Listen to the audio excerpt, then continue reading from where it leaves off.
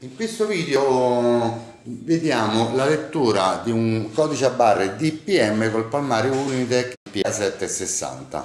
Cos'è eh, un codice a barre DPM? Il, il, codice a barre DPM è un codice a barre inciso direttamente sul metallo o comunque su una superficie.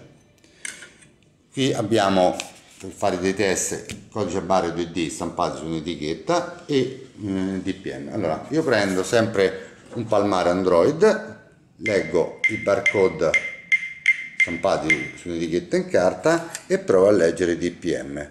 Come vedete no, no, non vengono letti i, i codici a barre.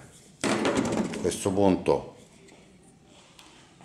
prendo il PA760, apro il block node ovviamente leggo tranquillamente i barcode stampati su carta.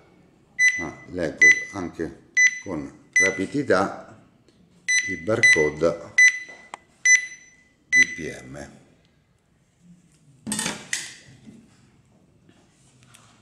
faccio rivedere la differenza. Leggo su carta tranquillamente sempre un'ottica 2D performante. E questo è il 760 con ottica DPM. Qualsiasi necessità di un palmare Android con ottica eh, 2D DPM potete contattarci ai nostri riferimenti.